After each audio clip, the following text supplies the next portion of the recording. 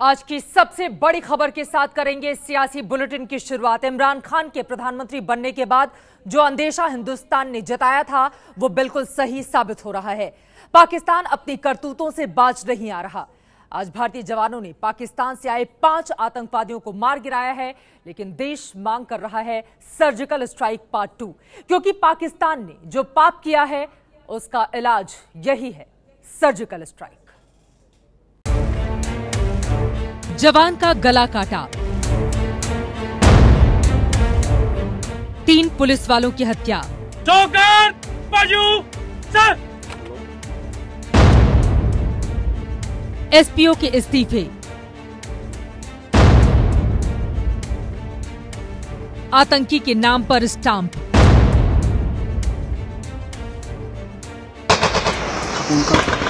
दो आतंकियों का अंत।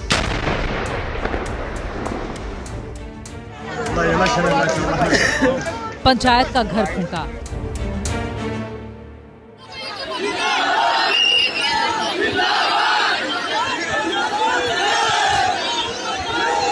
तिरंगे में लिपटा ये ताबूत उन जवानों का है, जिन्होंने आतंकियों के आगे झुकना नहीं, बल्कि शहीद होना पसंद किया।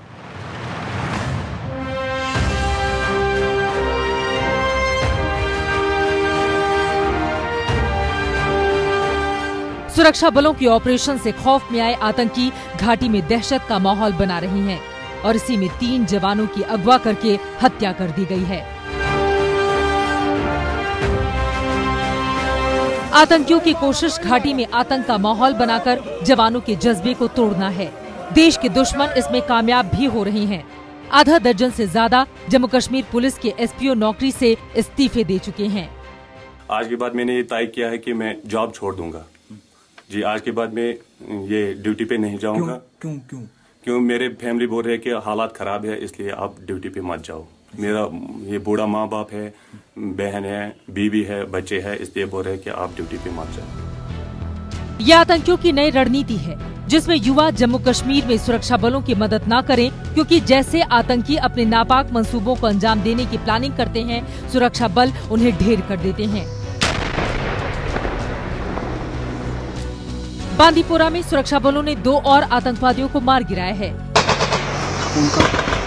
लेकिन इतने भर से बात नहीं बनने वाली। देश जवानों के खून के हर कतरे का हिसाब चाह रहा है। दो दिन पहले बॉर्डर पर पाकिस्तान ने बीएसएफ जवान के साथ हैवानियत की थी। तरीके से उनकी आँख के साथ, उनके गले के साथ, उनके जो तीन बुलेट्स लगी थी उसके साथ, हाथ के साथ, टांग के साथ जो किया हुआ था, वो कोई, जिसे कहते हैं ना, शैतान ही कर सकता है, कोई वैसे नहीं कर सकता। देश इस हैवानियत का बदला मांग रहा है। देश के अंदर इसको लेके बहुत ज़्यादा आक्रोश है लोगों के अंदर कि आखिर कब तक इस देश के जवानों को पाकिस्तान इसी तरह से मारता रहेगा, इसी तरह से यातनाएँ देता रहेगा। आखिर हमारा देश इतना बेबस, हमारी केंद्र सरकार इतनी बेबस क्यों नज़र आ रही है? हम लोग एक्शन चाहते हैं। हम लोग केवल भाषणबाजी नहीं चाहते। अरविंद केजरीवाल आज हरियाणा के सोनीपत में शहीद नरेंद्र के घर गए थे। पाकिस्तान ने ऐसे समय में दहशत का ये माहौल बनाया है, जब भारत और पाकिस्तान के विदेश मंत्री से बात होने की खबर सामने आई है। कल ही चिट्ठी भेजकर पापी पाकिस्तान के पीएम ने बातचीत की, पेशकश की थी। लेकिन भारत के लोग बोली नहीं, बल्कि गोली से हिसाब की मांग कर रहे हैं। पाकिस्तान के नए प्रधानमंत्री इमरान खान का असली चेहरा सामने आ गया है। वो भी उनके कार्यकाल के शुरुआती दौर में ही। ऐसे माहौल में पाकिस्तान से बात करने का कोई मतलब ही नहीं है। बिल्कुल अर्थहीन है। इस बदले हुए परिस्थिति में भारत और पाकिस्तान के विदेश मंत्रियों के बीच न्यूयॉर्क में कोई मुलाकात नहीं होगी।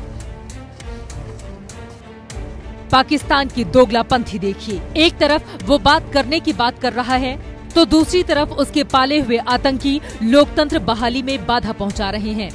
राज्य में पंचायत चुनाव होने हैं। उससे पहले इस तरह की घटना को अंजाम देकर पाकिस्तान कश्मीर में अशांति फैलाना चाहता है। ज़रूरत है इसका मुंहतोड़ जवाब देने की।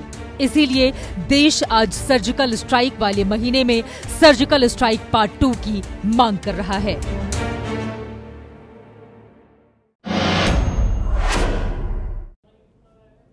सरकार तय करे ईंट का जवाब पत्थर से, क्योंकि इस पाकिस्तान को सबक सिखाना बेहद ज़रूरी है। तीन दिन पहले 18 सितंबर को टाइगर हिल पर पाकिस्तान के हमले में हवलदार रशीद काठार शहीद हो गए थे। शहीद का पार्थिव शरीर आज राजस्थान के ब्यावर पहुँचा तो हज़ारों लोगों की भीड़ अंतिम विदाई के लिए उमड़ी। अमर रहे के नारों के साथ पूरा इलाका गूंजता रहा। स्थानीय नेता, विधायक भी श्रद्धांजलि देने के लिए पहुँचे। लेकिन शहीद का परिवार चाहता है कि देश पर आँख उठाने वाले दुश्मनों को मुंहतोड़ जवाब दिया जाए।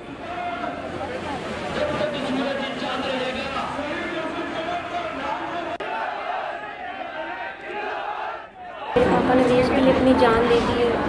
और मेरे छोटे भाई दो एक बड़ा भाई है, वो भी आर्मी में जाना चाहता है। वो भी देश की सेवा करना चाहते हैं। बहुत से लोग अपनी जान देते हैं और देश के लिए सबको दुख होता है आज पर मुझे खुशी कि मेरे पापा ने बहुत काम किया देश के काम गए हम दोस्ती का हाथ बढ़ाते पर हमले करते रहते हैं। बहुत की जान भी जा गई है। यही कि वो हमले ना करें, इसकी वजह से बहुत से लोगों की जान चली जाती है, बहुत शहीद हो गए हैं। और बहुत घर में बहुत घर उजड़ गए हैं। ये है एबीपी न्यूज़ आपको रखे आगे।